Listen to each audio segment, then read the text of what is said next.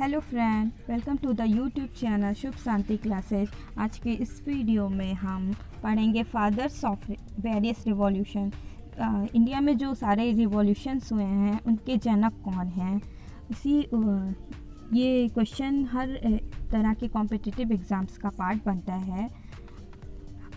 जिसमें देखते हैं, सबसे पहला है फादर ऑफ़ ग्रीन रिवॉल्यूशन किसे कहा जाता है?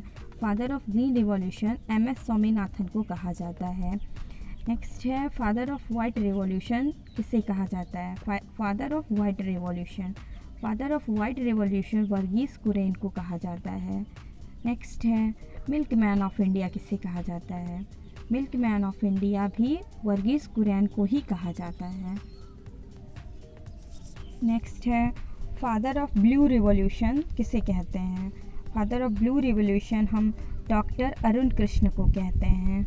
नेक्स्ट है, फादर ऑफ़ इंड्यूस्ड ब्रीडिंग किसे कहा जाता है? Father of induced breeding professor Hiralal Chaudhary को कहा जाता है। नेक्स्ट है, फादर ऑफ़ पिंक रिवॉल्यूशन कौन कहा जाता है? किसे कहा जाता है?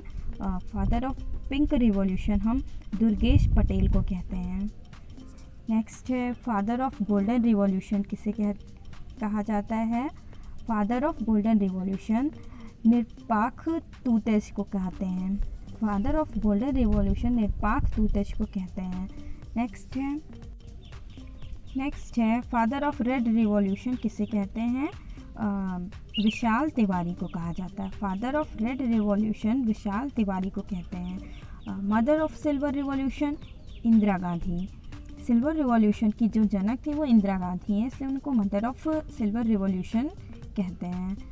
नेक्स्ट है father of yellow revolution father of yellow revolution Sam Pitroda को कहते हैं। Father of yellow revolution Sam Pitroda को कहते हैं। थैंक यू देव दोस्तों।